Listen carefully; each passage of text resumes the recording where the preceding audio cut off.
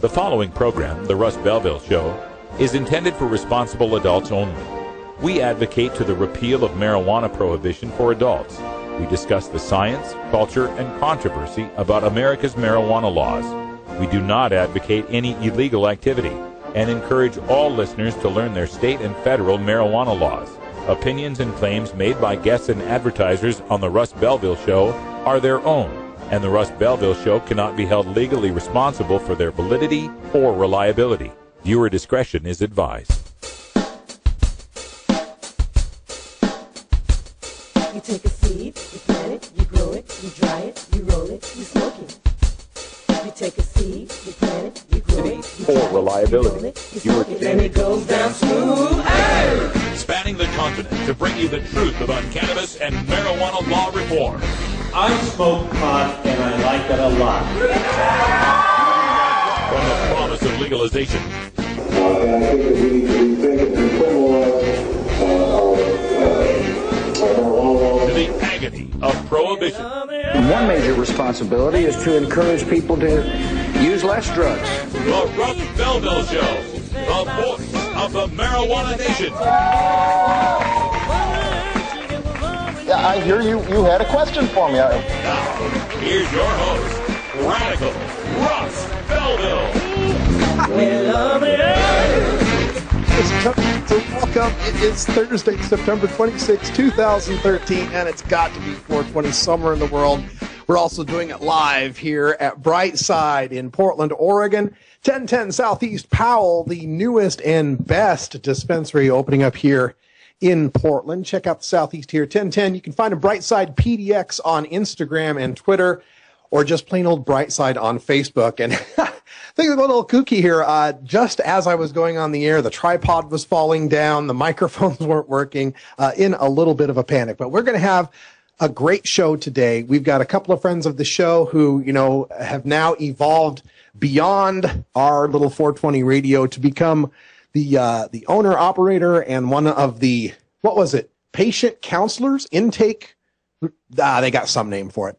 Anyway, Kaliko Castille, our own friend Wiz Kaliko, our former intern here at 420 Radio and the Russ Belville Show, uh, he will be speaking with us at half past. We'll also speak with Todd Armstrong, our good friend, the comedian, who is also working here at Brightside. We'll ask about uh, the hassles involved in getting you know their opening here and uh, the expansion and the future they're looking forward to here, uh, serving the patients of Portland and the surrounding areas. And so, um, come on down here. The first five people, first five patients who come in for some medicine to, today, with your medicine, you will get a Russ Belville Show pin. We'll get you a, a free pin there. So check that out. 1010 Southeast Powell here in Portland, Oregon. Now, on today's show, we got all sorts of interesting stuff. Bago Schwago will be calling in a little bit later because today is Groovin' Thursday and he's got a great tune for us today. We'll talk a little bit about that at 20 after. In our behind the headlines segment, we're going to take a look at what I call the drug testing epidemic and all the different ways the drug and alcohol testing industry is lobbying to make more money by seizing your pee. Also on the show today, we are going to get into some controversy. You know, I'm writing a, a daily column. It's not really a column, but daily articles for High Times Magazine. And I wrote one called The Top Five Pro Pot Myths That Must Be Busted. And it's generating a whole lot of uh, comments and controversy uh, in the comments section. I'll take some time to address that today in the Radical Rant. But before we get to all of that, of course, we got our 420 radio news. We got a new poll coming out of California on marijuana legalization. We got some of the leaders in Mexico calling for decriminalization and legalization. We'll tell you all about it right after We'll be right back after these messages from our 420 friendly sponsors. Support these advertisers because their ad money goes straight to the Russ Belville Show.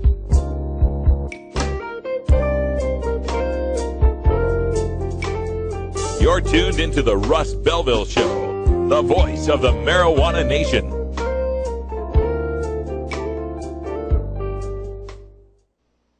Is there anyone out there who still isn't clear about what doing drugs does? Okay, last time. This is your brain. This is drugs.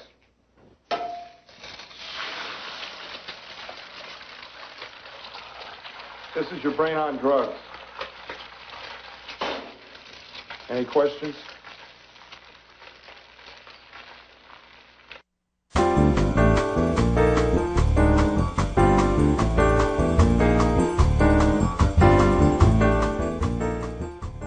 This is your 420 radio news for Thursday, September 26, 2013. I'm Russ Belville. Prominent Mexicans urge government to decriminalize marijuana. This from Reuters.com. A broad spectrum of prominent Mexicans, including former ministers, businessmen, artists, and a Nobel Prize winning scientist, on Wednesday urged the government to decriminalize marijuana in a bid to curb gang violence and corruption. Since 2007, about 80,000 people have been killed in turf wars between drug cartels and their clashes with security forces, leading to calls for a change in policy in Mexico and elsewhere in the U.S. led war on drugs. Among the signatories were several former ministers from the ruling Institutional Revolutionary Party, famous actors, media tycoon Ricardo Salinas Pliego, one of Mexico's richest men, and 1995 Nobel laureate for chemistry, Mario Molina. The ad argued that criminalization made narcotics more lucrative for cartels, noted that a number of U.S. states had liberalized marijuana laws, and that Uruguay's Congress was taking steps to legalize the cultivation and sale of the drug. The advertisement read, quote, Mexico has paid a high cost for applying the punitive policy of prohibition, end quote. Up in smoke, 52% of California adults want to legalize marijuana from the New York Daily News. Support for the legalization of marijuana has never been so high in the Golden State. 52% of adults surveyed by the Public Policy Institute of California said they thought marijuana should be made legal in the state, a new record level since the group began polling residents. Mirroring nationwide trends, a clear majority of Californians said that the U.S. Department of Justice should not enforce federal marijuana laws in states that have voted to legalize its use for either medicinal or recreational purposes. Of those surveyed, 61% of adults and 68% of likely voters said that Uncle Sam should let state marijuana laws stand, even if they are in conflict with the federal prohibition. Capital Alert, ballot proposal to decriminalize pot cleared to collect signatures from the Sacramento Bee. As a new poll finds that a majority of California voters back legalizing marijuana, Proponents of a ballot proposal to decriminalize cannabis have the green light to collect signatures to put it on the 2014 ballot. The ballot initiative, which, quote, decriminalizes marijuana and hemp use, possession, cultivation, transportation, or distribution, end quote, has been cleared for circulation, the Secretary of State's office announced Thursday. In addition, the proposal would institute case by case reviews of nonviolent marijuana convictions and charges it would also have the legislature enact laws to tax and regulate the plant, allow doctors to prescribe pot regardless of a patient's age, and ban state or local governments from enforcing federal marijuana law. This particular initiative looks less professional than past efforts. The cover note is written by hand and contains an email address, but no phone number for one of its backers, Burton Doozy of Simi Valley. Bank of America will accept Washington state marijuana revenue from the 420times.com. One of the biggest hurdles that companies generating revenue in the marijuana industry have to face is finding a financial institution willing to accept them as customers. The Liquor Control Board in the state of Washington was in the same situation until the Bank of America agreed to permit them to deposit anticipated marijuana related profits in their vaults. Most banks are leery of dealing with marijuana businesses simply for the fact that under federal policy, the government views money from marijuana transactions as money laundering. Bank of America declares it is willing to accommodate new marijuana related businesses, according to Jim McIntyre, treasurer for the state of Washington, who said, quote, I mean, in fact, we're already taking some tax revenues, I believe, for medical marijuana, so it's not a real issue in terms of their perception, end quote. Colorado marijuana industry gets $1 million from Investor Group from Huffington Post. In Denver, more than 60 investors from the Art Group ArcView Group met with 22 startup marijuana companies, including several directly involved in marijuana sales or cultivation, which was a first for the investment group, seeking capital. By the end of the meetings, the investors committed well over $1 million to Colorado marijuana companies, ArcView CEO Troy Dayton told the Denver Post. And it may have been even more. However, due to Colorado's marijuana laws, which requires investors to qualify as state residents for three years before making equity investments in a marijuana business, some investors had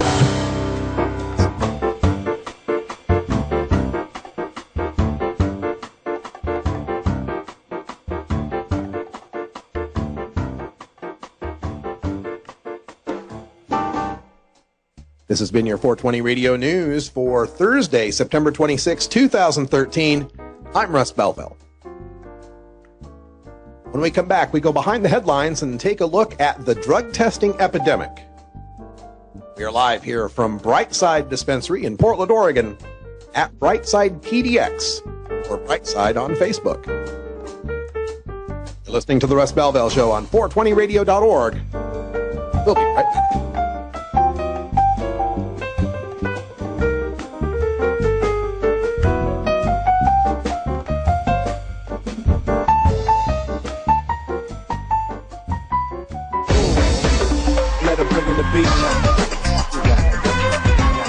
Adam Hand of Handmade Apparel produces quality custom designs for t-shirts, hats, and other apparel. Handmade Apparel is the official design shop for 420 Radio, The Russ Belville Show, Ganja John, and Cascadia Concentrates, among many clients who rely on Adam Hand for everything from short-run custom projects to full-run clothing lines. Adam's meticulous designs are individually crafted and screened in vibrant high-definition color. Visit handmadeapparel.biz to browse the selection of handmade gear or to get a personal quote for your own designs. Handmade Apparel, a proud supporter of 420radio.org.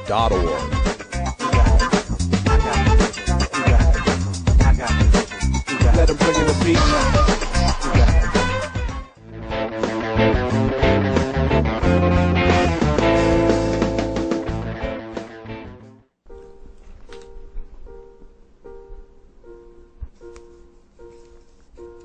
Marijuana is harmless. That's what everybody says these days. It's fun. It's recreational. Some even call it medicine. But every year, millions of young people find out that marijuana is extremely dangerous. Every year they find out that it's deadly. Marijuana smoke is lethal and toxic.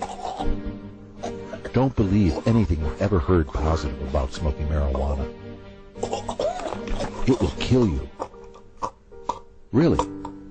It's really gonna kill you. It's don't don't don't smoke it. It will really, really kill you. Seriously. It's gonna kill you.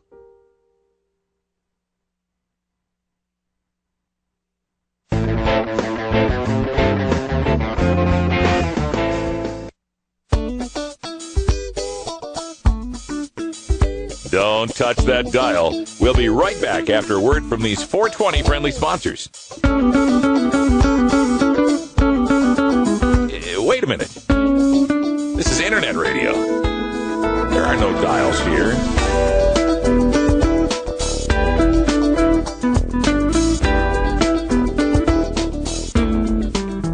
Welcome back, everybody. Time for us to go behind the headlines. And today we are talking about the drug testing epidemic.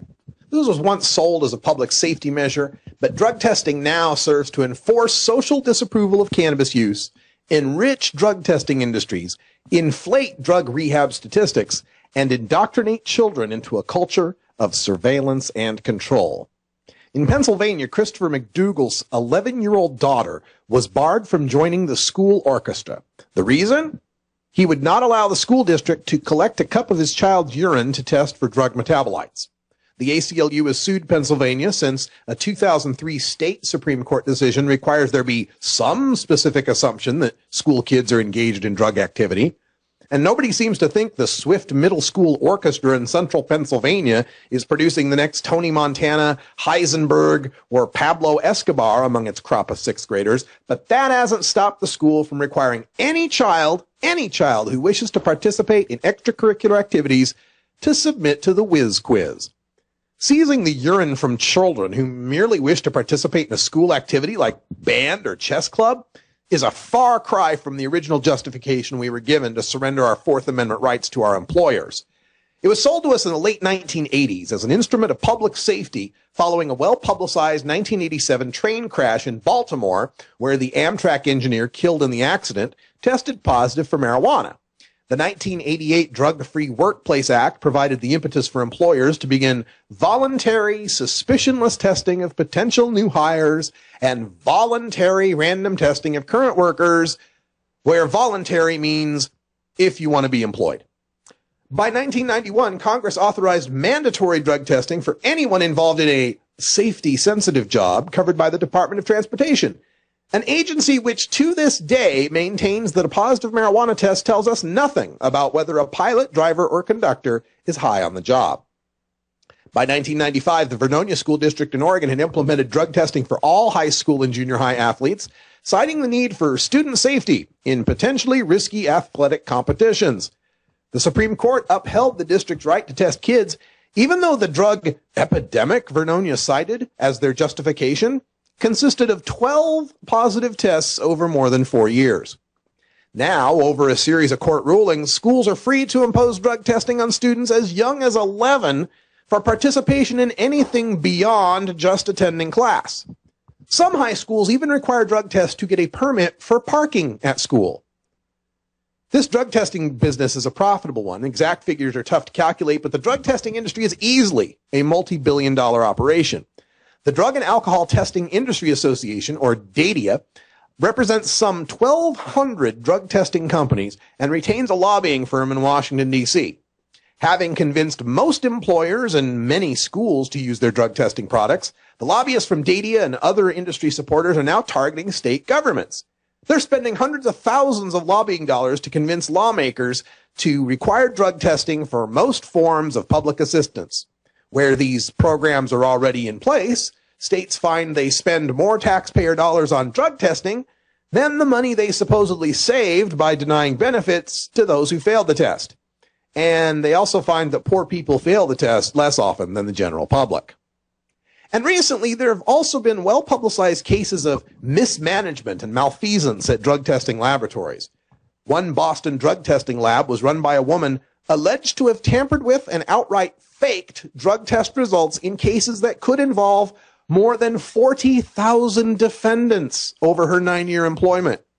In Houston, nearly 5,000 convictions could have been affected by a crime lab tech who faked test results.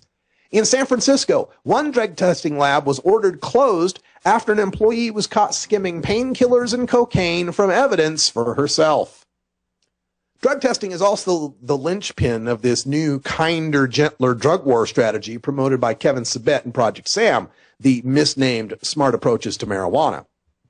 SAM promotes the use of so-called drug courts, which, which have expanded from a dozen or so in the beginning of the 1990s to over 2,700 today. They're to evaluate marijuana users caught by police for the choice of prison or drug rehab.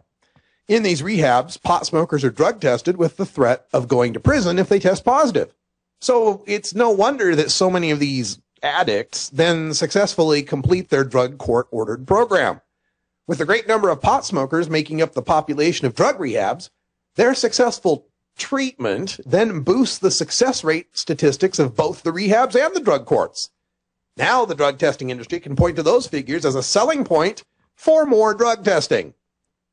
You know, 50 years ago, Dr. Martin Luther King Jr. dreamed that one day his children would be judged not by the color of their skin, but by the content of their character.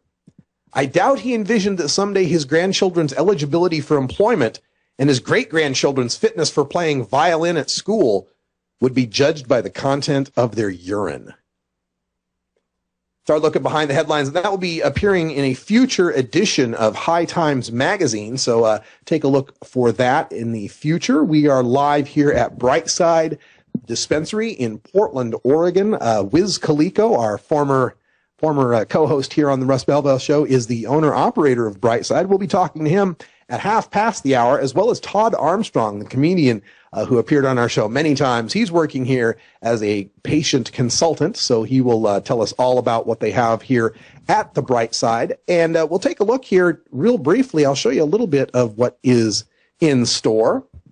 These are from the sativa category at Brightside. This is a nice silver tip, which is a Granddaddy Perp with a super silver haze cross. And uh, that is uh, testing out at 26% THC, their highest uh, THC test there. So we got to take a break, and um, I think Silvertip wins our book today. Hope you're having a good time from our live remote here at Brightside PDX. We'll be right back. Stick around. Oh, have you ever met that funny reefer man? A reefer man. Have you ever met that funny reefer man? A reefer man. If he said he swam to China, he would send you South Carolina. Then you know you're talking to that reefer man.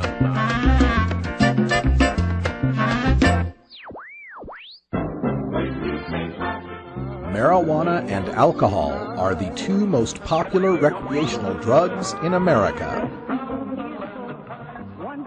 Marijuana smoking is non toxic, relatively safe, and has a low risk of dependence. Alcohol drinking is potentially fatal, dangerous to society, and is quite addictive.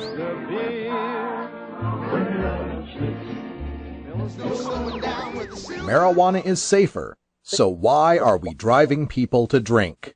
That's the question of the new book, Marijuana is Safer, so why are we driving people to drink? by Paul Armentano, Mason Tvert, and Steve Fox. Visit Amazon.com or ChelseaGreen.com today to order your copy of Marijuana is Safer or visit marijuanaissafer.com. Big Daddy thinks. Funky roller rink, roller rink, roller rink.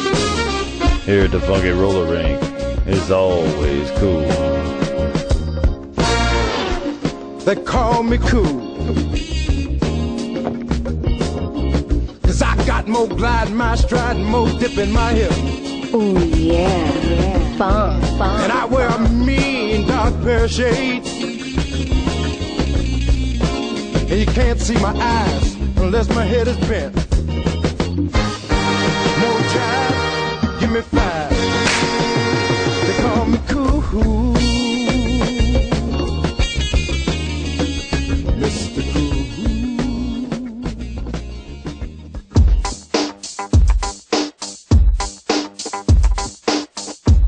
Everyone knows music and marijuana go together, so let's wind up our 20 after break with the Russ Belville Show's Daily Toker Tunes, the best in pod safe 420 music from around the web. Today is Groovin' Thursday, featuring rap, hip hop, soul, and funk music. You can get downloads and more information about all our daily Toker tunes by visiting music.radicalruss.com. Now, sit back and enjoy your daily Toker tunes. All right, welcome back, everybody. We are live here at Brightside in Portland, just returning from our 20 after break, and I hope we've got Bago Swaggo on the line. We're a little uh, janky here in the remotes, but uh, how you doing there, Bago? Are you there? I'm doing good. Can you guys hear me? Yeah, we got you just fine here, uh, connecting from our laptop instead of the home studio. So I'm never quite sure how it's going to turn out. But uh, how are things in Arizona?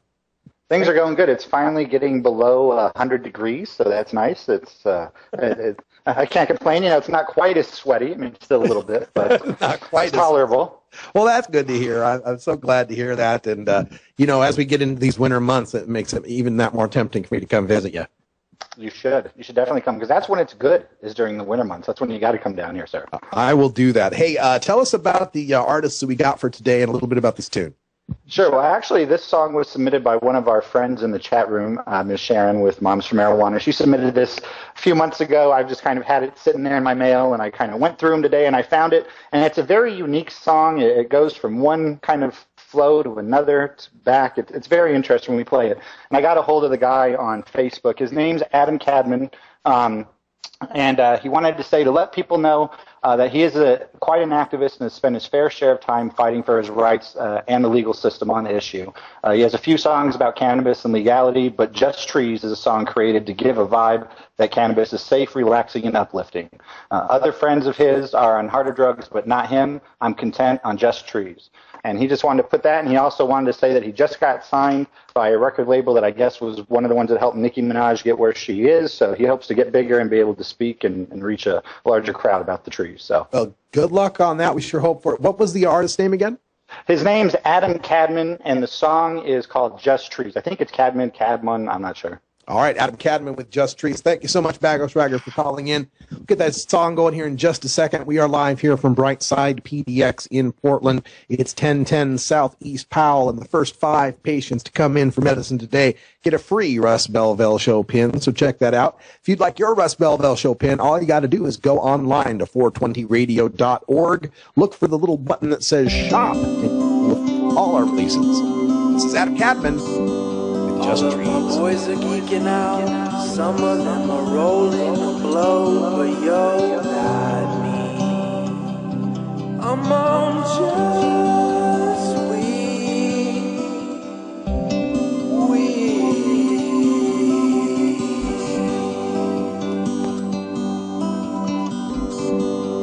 There's a party in the south. You can tell we're in MIA. we all got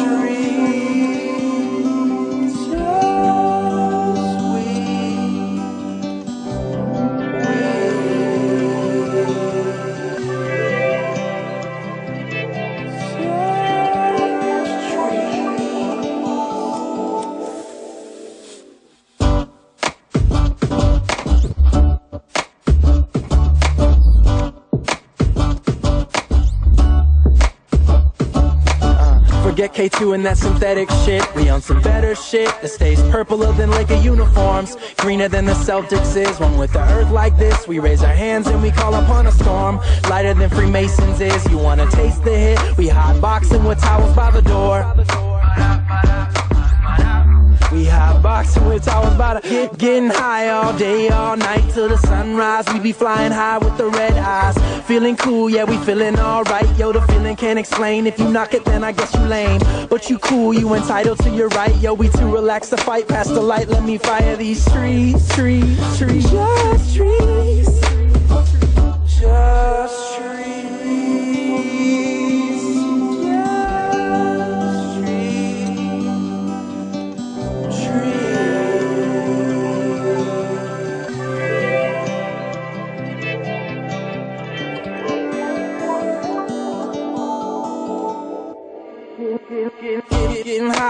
day, all night till the sunrise. We be staying high with the red eyes. Feeling cool, yeah, we feeling alright. Yo, the feeling can't explain. If you knock it, then I guess you lame. But you cool, you entitled to your right. Yo, we too relaxed to fight past the light. Let me fire these trees.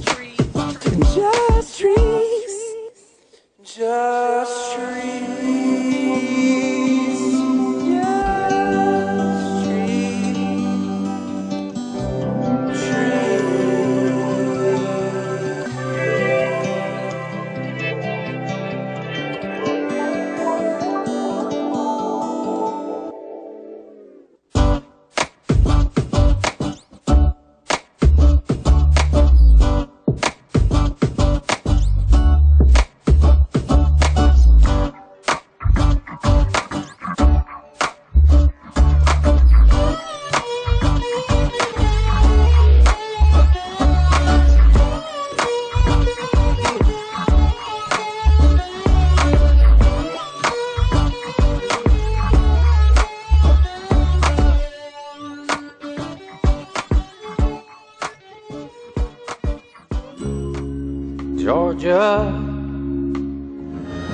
This is Willie Nelson, and I need your help. Alcohol prohibition didn't work in the 20s, and marijuana prohibition isn't working today. It's time we stop arresting law abiding citizens because they prefer marijuana over alcohol. Nearly 2,000 Americans are arrested every day on marijuana charges. We're unfairly destroying the lives and careers of hundreds of thousands of people each year simply because they smoke marijuana. These are not criminals. They're average citizens like you, good neighbors who work hard, raise families, pay taxes, and contribute to their communities. We need your help to end marijuana prohibition once and for all. It's the fair thing to do. For more information, contact NORML, the National Organization for the Reform of Marijuana Laws. Call toll free 888 67 NORML or visit their website at norml.org.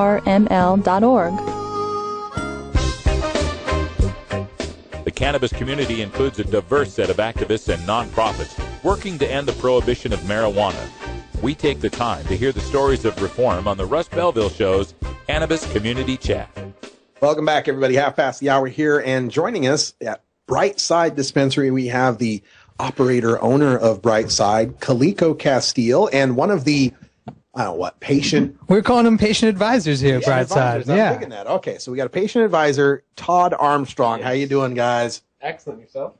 Fantastic. Great to be here. It's nice to be at the uh, building finally. I know uh, been a lot of hassles that you tried to put the building together, right? Well, I mean, you know, it was an eight week process. Uh, we signed our lease on July 25th and we opened yesterday, September the 25th. So, you know, it was like an eight week construction uh, project that we managed to get done and managed to get open. I wouldn't say it was uh, too hectic of a process. I think eight, being able to pull it off in eight weeks, I'm certainly proud of our ability to do that, having to construct it all, get everything permitted through the city, you know, trying to do everything above board, obviously trying to raise the bar here in the cannabis industry and uh, trying to do everything professionally and above board. So, so that we don't have people knocking on our doors for, for any uh, reasons that would uh, get us in trouble. So, so, uh, you know, speaking of that, uh, Oregon just passed a dispensary law.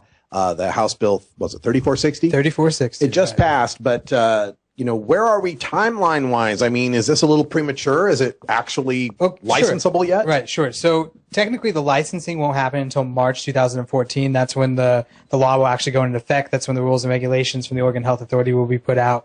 But currently in the Multnomah County, there are um, you know, upwards of at least 50 dispensaries um, operating currently, and they're basically operating under the idea that the district attorney here in the county said that they're not going to prosecute as long as they're not um, selling over state lines, selling to people without cards, or selling to minors. And obviously, we're going to be, you know, completely legitimate and above board. We plan on making sure that everybody's properly uh, carded and identified before coming in. We have, you know, a lot of security here at the spot that we're planning on or that we do have implemented, but that I think is going to become a standard. So, um, you know, we're definitely going to be trying to push forward the, the professional side of things. So you're basically operating as if you know 3460 was in effect right now. Right, sure. As if it was in effect right now, we're going to try to um, be in a position so that when the rules and regulations come around in March, we're easily able to uh, to uh, obtain our licensing. So we definitely want to be able to get the ground. Um, hit the ground running here in Multnomah County since we're, you know, have at least a little bit of leeway in order to operate. That way we can uh, have things buttoned up, work out all the kinks and all the bugs, um, you know, prior to March. So what aspects of putting this together were new to you? Uh, everything, I would say, probably. I mean, I went. What was from- harder than you expected? Uh, it was, it was, it was, um, it was a little bit tougher than I expected. I'd been working on a business plan for a few months prior to uh, landing this opportunity, and so I mean, I certainly had one set of ideas about how money was going to be spent or how that was going to work out in the construction timeline. But obviously, you know, you get in here, and you start trying to get contractors in here. The end of summer when construction uh, season's pretty busy, and it's tough to get people in here. So I mean, it was definitely. Um, you know, I had to harken back to my old student government days from high school, like putting on ASB and food drives, things like those nature, because it really was just a big project that I had to get everything lined up for, and everything had to be firing, you know, at uh, at any at any given moment at the right time. So. All right. Well, let's let's talk to Todd for a second Yeah. here because we know you as Todd Armstrong, comedian, Yes. and now you're Todd Armstrong, patient counselor, Advisor. advisor. Yes, because bud tender just sounds too cheesy. Too cheesy. So, uh, what will you be advising the patients upon? I mean, Uh, let, us look at this. We got some we got some bright side uh, examples here, and this here I understand is Rocco's Wonder. So, if Yes. the patient's coming in for some Rocco's Wonder, what are you going to advise? Uh, that is our house blend. Uh, that is a, a fabulous blend of, uh, as I remember it's Neville's Haze and Cinderella 99. So it's a nice uh, up sativa, good motivation for if you're uh, looking for some daytime medicine. Uh, I it's a personal favorite. A lot of folks that want something to do instead of just sit on the couch. But if you need that, we have plenty of indicas as well. It sure is pretty. Yes. All right, so everything take- we have is soil grown. It's organic as well. So uh, coming from my own personal family need for uh, quality organic medicine, that's why I'm here. Well, here we have a Narnia. Yes, another Okay. house blend of ours. Fabulous. Uh, that's that's that's a, a huge huge favorite around. Uh, that's actually skunk number one with the Cinderella 99 as well. So Cinderella 99 is a good uh, female for our breeders to use, and Now, I understand uh, each of these uh, sativas we were looking at, or sativa DOMs we were looking at, was over 20% THC. We have a silver tip here, which I Yes. understand is your, your winner. I would say our flagship, absolutely, uh, 26.2%, uh, multiple cannabinoids, THCV, CBD, CBN. Uh, yes, uh, and that is a combination of the Granddaddy Perp with the uh, the Super Silver Haze. That's out of Montana originally. Uh, that's actually featured in this month's uh, Canna issue, I believe.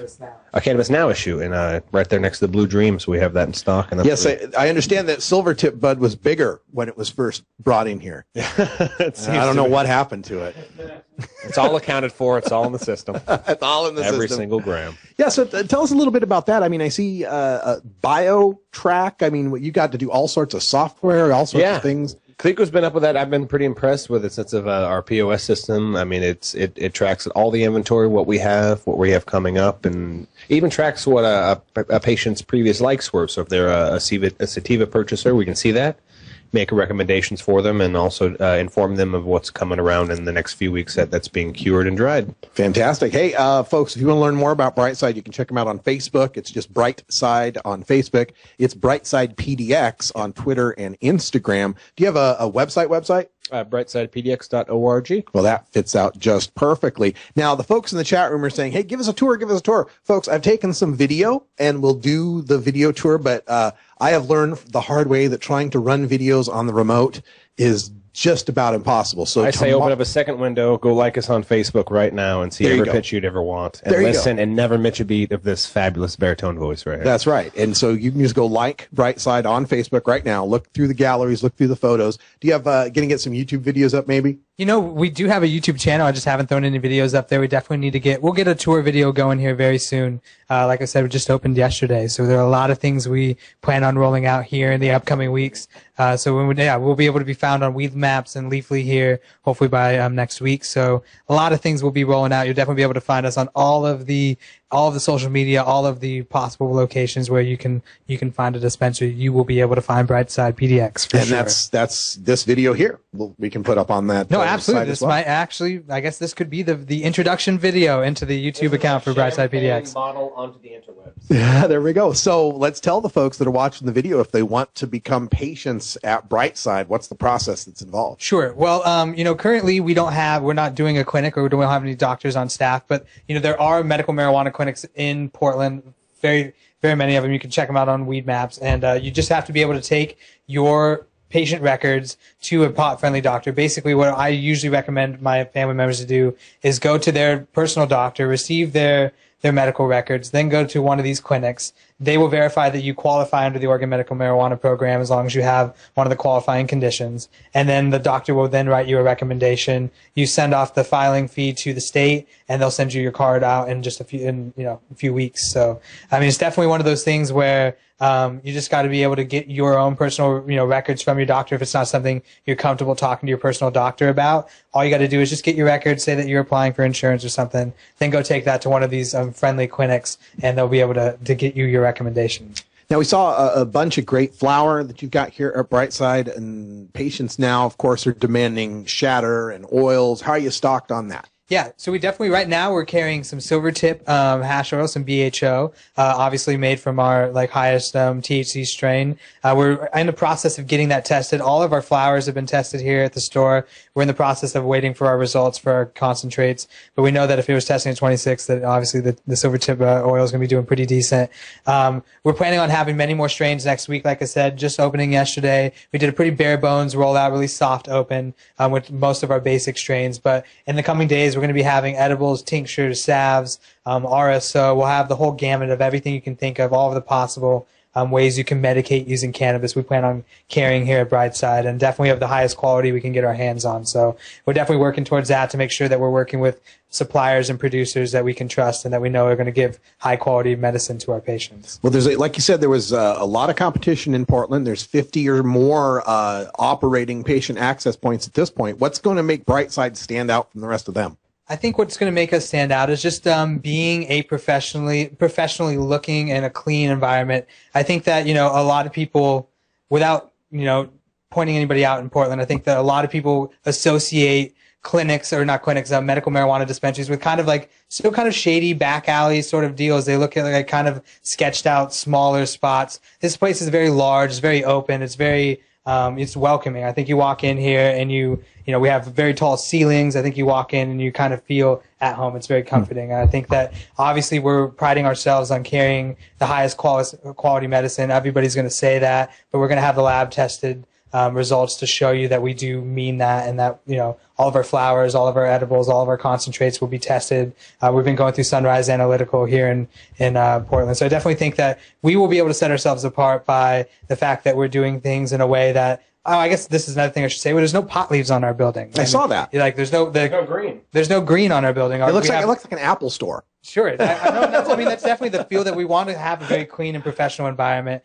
We don't want somebody to just drive by and say, that's a medical marijuana dispensary. Right. I mean, obviously, we need people to know we're a dispensary so that we can get patients in here so they can get their medicine. But at the same time, we don't want to be, you know, having to flash pot leaves and green crosses everywhere out there to get our message across. We think we can be subtle, clean, and professional and still get people to, to understand that we, we mean business and we're here for the, for the patients. Yeah, that's fantastic. And uh, go ahead. I, I think the thing that really sets Brightside apart from coming from, I guess, my side job being a comic is that we are completely focused on not swooping up a market that's already there. We're trying to envelop an envelope of, of, of new people to the business, of taking advantage of uh, PTSD being compa- encompassed in 3460, drawing in folks that are coming out of the closet because prohibition's kind of going away. The folks my parents' generation who are, who use to medicate on a daily basis but are afraid to come out. And so I think we really are going to stand out by being more the quote unquote suburban kind of draw. So Mm-hmm. I also have to compliment you on your use of the heteronyms envelope and envelop in one sentence. That was wonderful.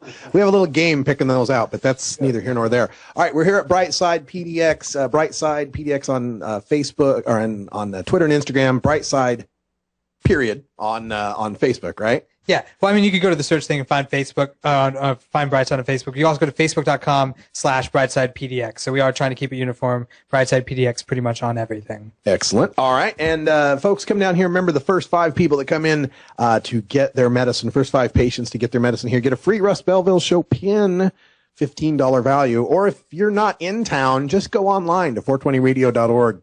Click on our shop. You can buy it from there. And I notice you guys have like t-shirts and you can have other stuff. Yeah, we definitely we have some- non-marijuana We have some Brightside T-shirts. We're gonna have some other um, some other accessories. We'll have some pipes and some um, bongs and things like that. Things for people to be able to at least consume their medicine if they leave here. Some people, you know, might come here first time medical marijuana patient, first time ever going into a dispensary. You want to be able to for someone to come in here and have everything necessary for them to go home and medicate for themselves, and you know, so they can be self-sufficient. So we'll definitely be carrying all of the accessories you can think of. We'll be carrying some local products from just stores around in town. We'll be partnering partnering up with some local businesses in town and carrying some uh, some local products that we think should be pushed. So definitely have a lot of things other than cannabis. here.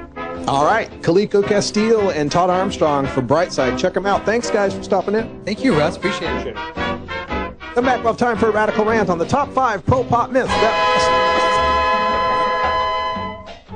The Russ Belville Show is blogging and podcasting daily at radicalruss.com.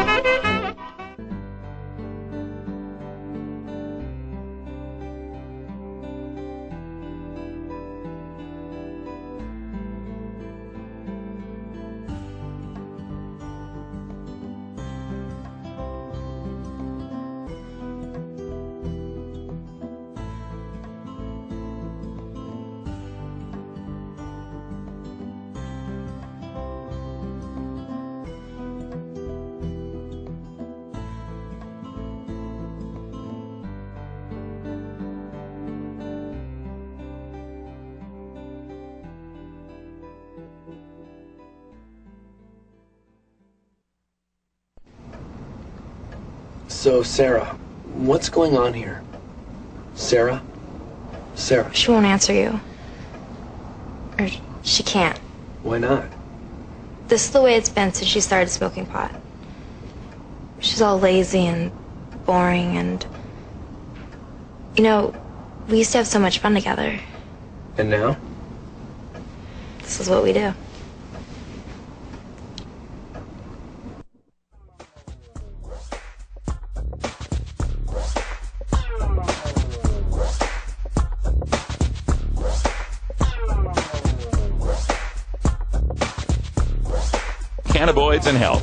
Cannabinoids.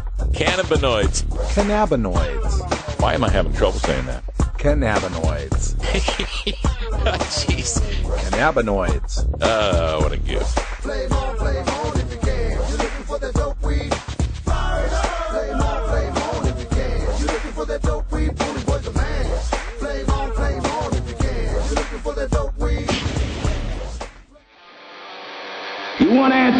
I'm as mad as hell, and I'm not going to take this anymore. You want answers? You have offended my family. I think I'm entitled. You want answers? I want the truth. And you have offended the Shaolin Temple. You can't handle the truth. Surely you can't be serious. I am serious. And don't call me Shirley. Radical Rant. Welcome back, everybody, live from Brightside here in 1010 Southeast Powell. And, you know, I wrote this piece for High Times, and some of you know that I've picked up a gig writing a daily article for High Times. Sometimes it appears in the news section if I'm covering a news story. Sometimes it's in the 101 section if I'm just covering a general interest article. And today, one of my articles got published that's entitled, and this is what High Times title. By the way, folks, sometimes uh, I'll, I'll supply a title to them and they'll change the title. So it's not always up to me, the title. But the title they put in High Times today was Five Pro Pot Myths That Must Be Busted. And they put a picture of the of Jamie and what's his name, the Mythbusters, to go along with it. And, uh, you know, I've been writing these articles for a while now, just about a month, and none has received as many comments as this one has. And some of them pretty critical comments. So, uh, this is what happens when you cast a critical eye at the marijuana movement sometimes. You know, we're, we're so busy oftentimes debunking the nonsense that we get out of the other side, out of the opposition, uh, that we, you know, we fail to debunk some of the stuff that our side says. And that's what I wanted to do with this article.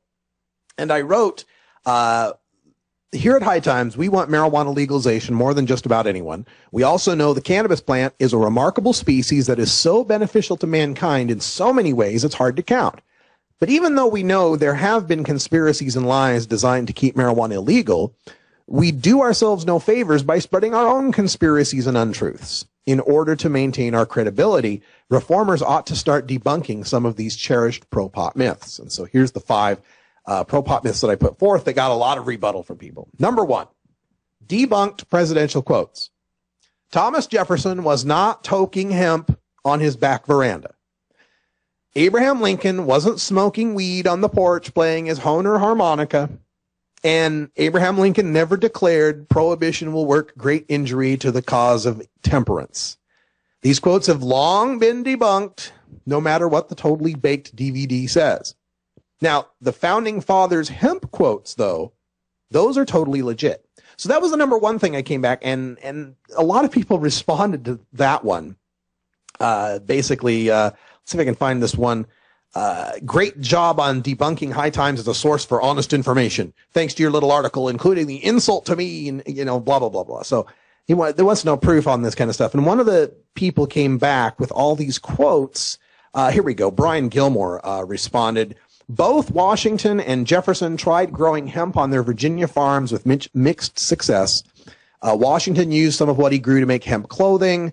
Uh, blah blah blah blah. Not only were Washington and Jefferson marijuana farmers, they were unsuccessful marijuana farmers.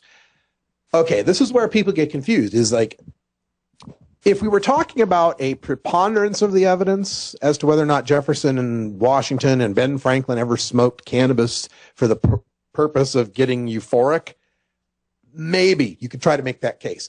But the problem is we've got plenty of proof that they grew hemp. And we've got Jeff or Washington's diaries that said that he separated the male plants from the female plants. One of the reasons you might do that is to get females for smoking. But the other reason you might do that is to get males for seed or for hemp. So there's a lot of you know variation on that. And the scholars are the, the, the people that are in charge of the Washington uh, Museum George Washington's effects won't let anyone test his pipes to find out if he had had any blends. And there's reports of Jefferson and Washington exchanging smoking blends, different herbal blends. But to say that there's any definitive proof that they consumed cannabis, it's just not there in the way that we talk about smoking pot. Now, if you want to talk about presidents that smoke pot, uh, Benjamin uh, Benjamin Pierce. Uh, we have uh, Zachary Taylor, James Monroe, Andrew Jackson. They all smoke pot. We got Monroe from his time in France when he was ambassador when he was uh, working out. Uh, I think he was an ambassador to France at one point. But anyway, uh, he used hashish out there. The other three, uh, Taylor and Jackson and Pierce, we have from their letters that they wrote back uh, during the Mexican Wars, where they were serving in the military at that time, and they used to smoke marijuana with their uh, with their soldiers. In fact, uh, Franklin Pierce once wrote that the ma- marijuana was the only good thing about the war. And we also have uh, biographies of John F. Kennedy that allude to his, or actually directly say, directly talk about his smoking joints uh, for back pain. And of course, Clinton and Obama and George W. Bush admitted their pot smoking. But as far as those debunked presidential quotes, the Hohner harmonica, the prohibition one out of Lincoln, those are debunked. Please stop spreading them. Now, the number two thing that I added in my top five pro pot myths that must be busted was hemp will save the world. Hear this one all the time. Hemp will save the planet. Yes, yes. Hemp is an amazingly versatile plant for food, fuel, fiber, and medicine. But 31 countries already grow hemp. China grows hemp, right? It's just the United States banning it that dooms the earth. There's a lot of things that cause a lot of environmental degradation. When there's a hemp iPhone, hemp diamonds, and hemp cheeseburgers, then maybe hemp will replace everything that damages the environment. Now, I didn't get a lot of pushback from this, but a lot of people wanted to point out all the great things hemp will do and how hemp can be used as biodiesel, which is absolutely true. Problem is, you have to drive a diesel to use biodiesel. Sure, replacing all of our fleets of 18 wheelers and converting them to use biodiesel would do enormous good for the planet. But until everybody buys a diesel car, we're still going to have gasoline cars running around. So hemp is going to help a lot, but hemp will save the world is just, is not just a little hyperbolic. Now the third one, the third one is the one as I was writing it, I knew people would go up in arms about this and there'd be wailing and gnashing in teeth and hair on fire. And that is the pro pot myth that cannabis cures cancer. Hear this all the time. Cannabis cures cancer. Now look, folks, we've seen THC kill cancer cells in petri dishes. And many people will tell you that hemp oil cured their cancer. But all of those terms, cannabis cures cancer, all three of those words are much broader than what we can actually prove and what we actually know. First of all, cancer is a very broad spectrum of diseases. There's lots of different cancers in lots of different stages. And cure is an absolute kind of a term. Cure means here's something that's, that's ailing you and I'll give you this and you will be miraculously healed permanently. For someone to be considered cured of cancer, it needs to be in remission for five years. And we just don't have people using the hemp oil long enough to verify that in a scientific way. Now, this is where people get mad because, oh, my cousin or my aunt or my brother or me, I used cannabis oil on my skin cancer or I used cannabis oil or whatever. You know, our own brave Michaela used cannabis oil and her leukemia is in remission. But we don't have the double blind, peer reviewed, you know, proof research to say cannabis cures cancer. And especially as cancer, like I said, is such a broad thing. I mean, if cannabis actually cured cancer, guaranteed 100%, then Michelle Rainey would still be alive.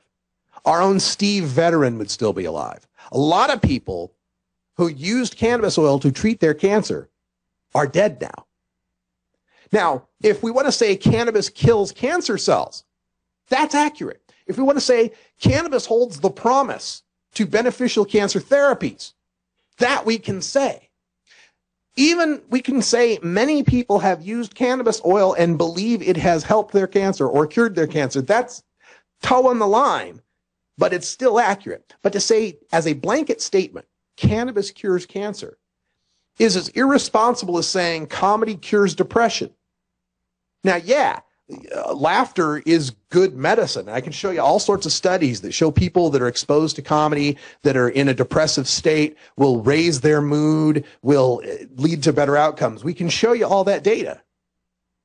But it'd be irresponsible of, as hell for me to turn to a person who's clinically manic depressed and say, oh, all you need to do is go to the Chuckle Hut and tell them to ignore all the conventional talk therapies, psychotherapies, maybe even psychiatric drugs that could really and have been proven to help her.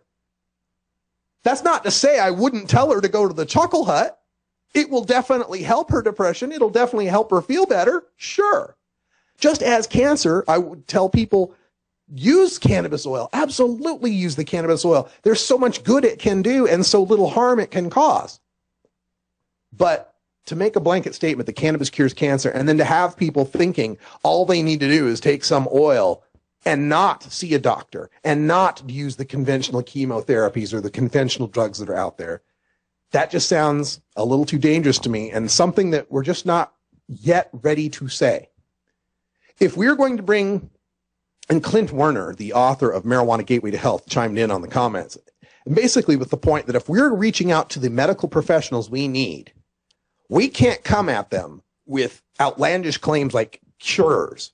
That sets off a thing in the doctor's head that says quack, that says snake oil. We need to show the promises there. We need to show the research must be done. Absolutely. But let's do so accurately and let's do so without exaggerating what cannabis is, is and isn't capable of at this point. All right. Now, the number four item that I added in the top five pro pop myths that must die legalization will save money in law enforcement. now, it's going to get me some, uh, give me some uh, angry people as well. But this is a stat where, and the way that's usually calculated, and I've done this. I've been as guilty as using this stat before, but the way that it works is it calculates, okay, how much money do we spend on cops and prisons and courts and so on? And then what percentage of arrests and prisoners and such are there for marijuana? And then divide the former by the latter, right? Like, okay, so we spend X million dollars, divide by what percent of pot stuff is in there, and then that's how much it costs. Well, that's a very simplistic formula. It doesn't take into, a, into account a lot of things. Number one, police departments and bureaucracies don't spend their money on a item by item basis. It's not like they assigned cops and they say, all right, I want you to spend two hours arresting people for pot today. If the cop is no longer allowed to arrest people for pot, it's not like he's taking that two hours off every day and not getting paid for that two hours. That cop still is going to be working. Now, yes, he'll be catching people committing real crimes, and that's certainly something to be applauded, but we still have to pay his salary. and if we assume that rather than catching people that are, you know, uh, with a bag of weed, he's and then catch, catching real criminals, well, then all those expenses we allegedly saved from housing the criminal who was the pothead are now going to be spent housing the real criminal, right? There will be some savings. There will be reductions in prison costs. There will be uh, reductions, maybe in even the staffing that is necessary at a, at a police department. But trying to come up with some hard and fast figure that marijuana is going to save this month this much, to me, is almost always overinflated. Now, music kicking in here as we get toward the end of the show. Number five, and I hope you guys can hear me over this.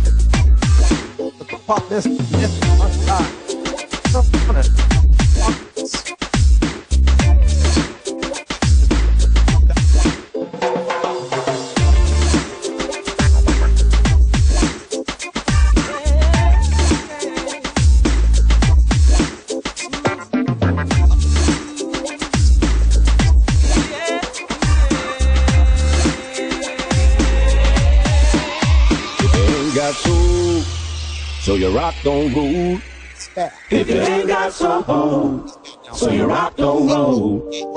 If you ain't got soul, so you rock don't roll. If you ain't got soul, so you rock don't roll. So there you have it. That's my top five pro pop myths. Caused a little bit of controversy today. Check that out at hightimes.com. Also, High Times has given me permission to reprint my articles at radicalruss.com with a one week delay. Find unplaced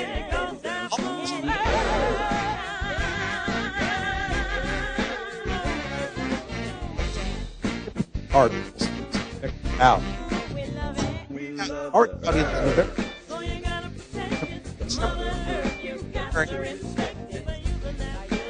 intro part. Check it out. Hi, Brookside. It's I'm Radical Wiz Cleveland.